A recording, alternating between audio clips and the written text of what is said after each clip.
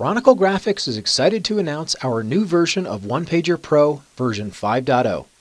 This video will introduce you to the main features included in this new release. I have a view open here and the first thing you'll notice is that we've modified the toolbar to be in the tabular or ribbon format that the newer Office applications employ.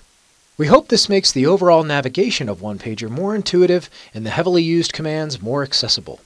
The File tab is self-explanatory, however, there are a few specific changes and enhancements to point out in the other tabs. First, on the Main tab, notice the Copy to Template button. What this button does is create a template from the settings within the properties of the project view that are controlling the one-pager view that I have open. This feature existed before, however, the sequence to create a template from an existing view was different and we used to call it a profile. We determined the term profile wasn't intuitive enough, so moving forward we'll be calling it a template, since that's what it is. You'll also notice that the Profiles button that was once in Project now says Templates.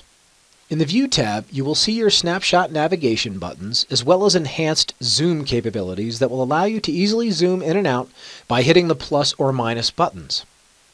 We've also brought some other visual on-off controls into the ribbon that were previously tucked within the properties of the project view. If I click into the properties of the project view by clicking the Project View Properties button from the Home tab, you will immediately notice that the look and feel of this form has changed.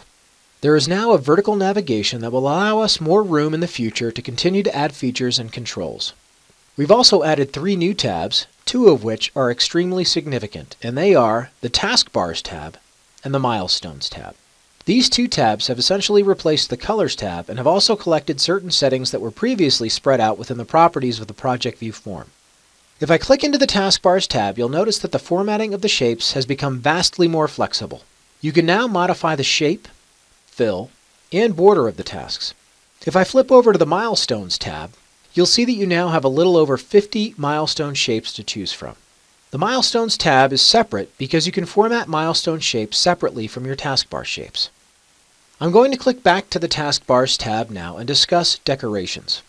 In 5.0, we've enhanced the flexibility with which you can format and display certain text values from your project or visual indicators, and we've grouped these elements into a section called Decorations. For example, if I click into the Percent Complete Properties button, you'll notice that I can now display my Percent Complete text values as a separate decoration within or around my task or milestone shape. I can also control how that text font is formatted. Here's an example. We've also enhanced the way start and end dates can be displayed.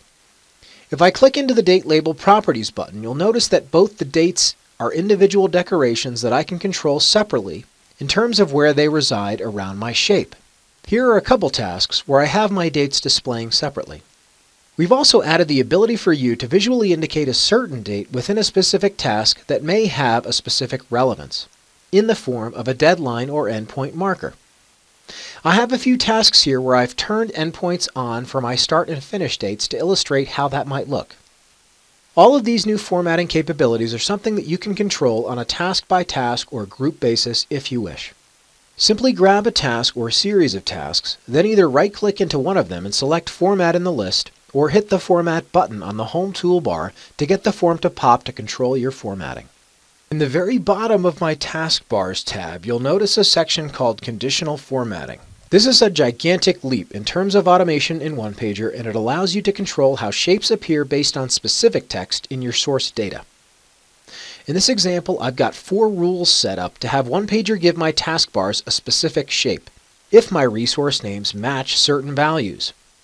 These rules will also drive changes in the appearance of my tasks and milestones if their resource name values change from snapshot to snapshot. The rules will also populate into my legend so my audience can be clear what the different formatting represents. The next major group of features that we've added to the tool have to do with drag and drop. Just about everything in the view is something that you can grab and modify with a drag and drop for the purposes of resizing or moving. You can resize swim lane and row column widths with drag and drop. You can resize one or many swim lanes or rows in terms of height. You can resize individual or groups of tasks with drag and drop. You can drag multiple tasks to different rows. You can grab and resize your legend. You can grab and resize text boxes, comment boxes, as well as curtains. We've also enhanced the ability for OnePager to assist with creating resource views where you may have multiple resources assigned to a specific task, and have added features to support the need to have OnePager create views from multiple project files. To learn more about the new 5.0 features in detail, please take a look at some of our more in-depth video series on our website at chroniclegraphics.com, or you can also reach out to us for a demonstration at support at chroniclegraphics.com, and we'll be happy to assist you.